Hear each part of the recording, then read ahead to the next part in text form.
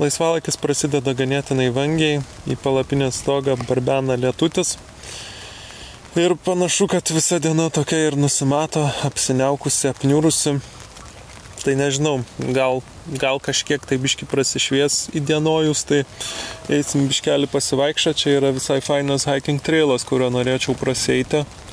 Bet jeigu labai krapnos, tai tada turbūt nelabai norėsis, nes sušlapsiu ir tiek nežinau iš tikrųjų, kas geriau, ar turėti laisvadienį blogo oro, ar minti blogo oro. Nes iš vienos pusės, kai, kai tiesiog guli palapinėje ir net negali išlysti į lauką, tai tas nėra faina.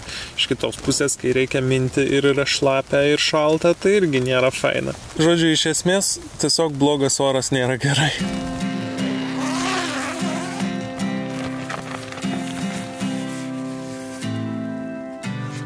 Net nesuprasi, ar čia žemė, ar čia dangus. Ir čia ne ta prasme, kad taip faina, kad ar čia žemė, ar čia dangus, o tiesiog nesimato, ar čia žemė, ar čia dangus. Jau beveik pietus, vis dar krapnoja, viskas apsiniaukia, bet blemo koks grožis. Pasižiūrėkit. Give me a chance to show. Nu, nerealiai, nerealiai. Tavrasi, žiauriai šalta yra kokie 6 laipsniai šilumos. Lykštų, šlapia, bet grožis, velnioniškas. Šitariu, pavyzdžiui, apačioj turbūt net ir nelyja. Bet čia, kadangi aš esu praktiškai ant kalno viršaus, tai kiekvienas debesis praplaukiantis jaučia tokį kaip ir pareigą ant manęs išsilieti. Galvoju, gal reikia biškai strėptelti sultinuko. Gal sušilsiu.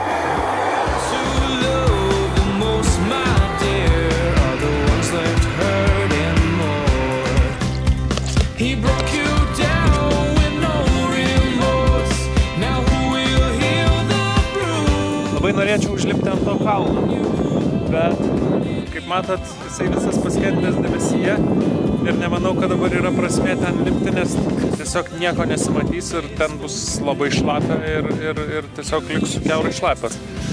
Tai bandysim padaryti kitą dalyką. Turime dvi užduotis. Pirma užduotis tai surasti, kur man rytoj važiuoti su dviračiu.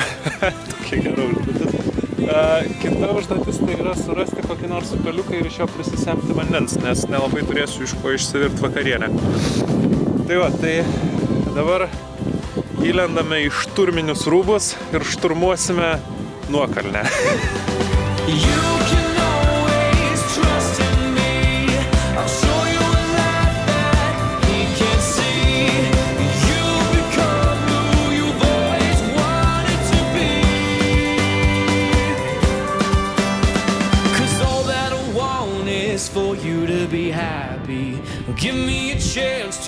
show that you can be. Well, open your eyes and see the way I see. Jau vėl. Tik biški pasileidau žemyn ir vėl šitos svolačios. Negana to, kad lyja, tai dar šitos skraido. Nu, joma jo. Von atsiūda. Panašu, kad čia ne visai tinkamas keliukas rytojui. Labai status, siauras, akmenuotas bandysim surasti kokį nors aplinkinį. Man atrodo, kad va tenai kažkur tai matosi uh, normalesnis keliukas. Tai pabandau nueiti iki jo ir grįžti į palapinę, nes aš negaliu, mane tiesiog nerviškai veikia šitos mūsės.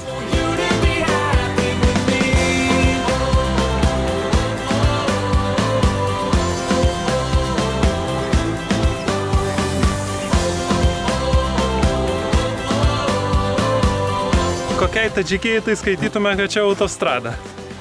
Norvegijai tai gan prastas keliukas. Bet manau, kad turbūt pravažiuosiu rytoj juo. We are made skips ah, of the biking trails in this area. Okay. So you can have this from me if you want. Yeah, Right sure. now we are, uh, let's see, I cannot, we're around here. Ja. Ir susitiktų man šitaip žmogus orientacininkas, dviratininkas, kuris išmaišęs visus šitus kalnus ir geriausiai žino, koks kur keliukas veda. Tai sakė, šitas keliukas, kuriuo jisai atvažiavo, yra pats tinkamiausias man nusileisti. Nes sakė, nėra ten tiek status, nėra akmenuotas. Tai jo, tai matyt, kad a, važiuosime rytoj juo. A, o dabar kita dilema, kur rasti mum vandens. Nu va, čia yra geriausia, kad turim vandens atžvilgių. Bėda ta, kad kalnuose yra pilna avių. Aš nesu įsitikinęs, kad šitas vanduo yra labai geras gerti. Galvoju, gal prisipilsiu, bet naudosiu virimui. O gersiu tą, kurį turiu vandenį. Jeigu numirčiau, kaip visada, žinosite nuo ko.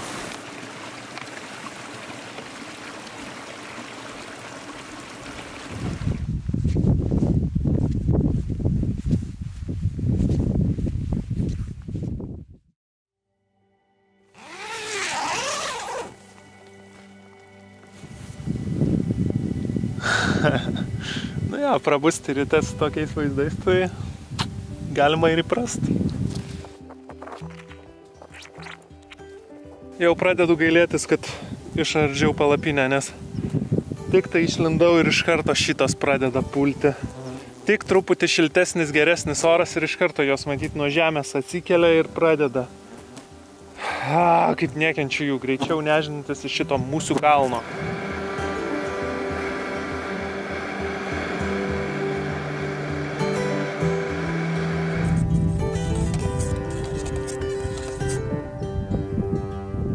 Keturios porcijos. Yeah, right. ne, šiaip tikrai daug buvo. Uf, nežinau, ar nesusproksiu. Nu ką, dabar tiesiog saugiai nusileisti ir galiausiai pabėgti nuo šito musinyko. Jezau, Marija.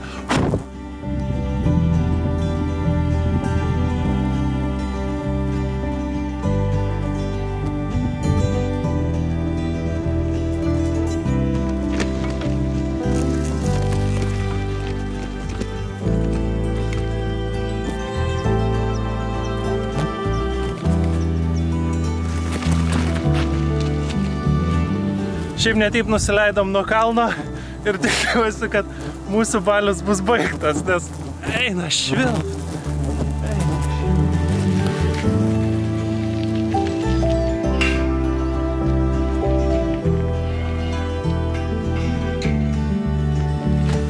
Nepalikčiaugi aš jūsų, nu nepergyvenkit.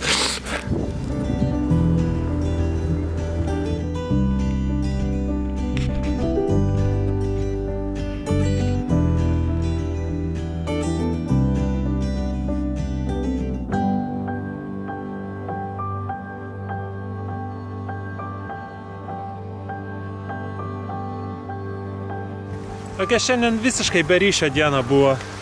Važiavau ir taip toks vaizdas, kad vienas didelis kaimas. Važiuoji, važiuoji, važiuoji, važiuoji, miesteliai, miesteliai, miesteliai, miesteliai, namai, namai, mašinos, mašinos. Net realiai nebuvo nei ką filmuoti, nei ką fotografuoti. Tai tokia visiškai be ryšio diena. Ką manot apie šitą vietą? Tokia gal ne iš pačių įdomiausių. Kelias čia pat, viskas matosi nuo jo. Bet va, biški lygios vietos yra. Vaizdas pusė velnio.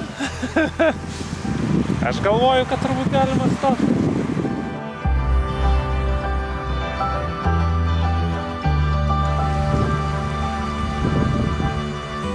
Visai neblogai.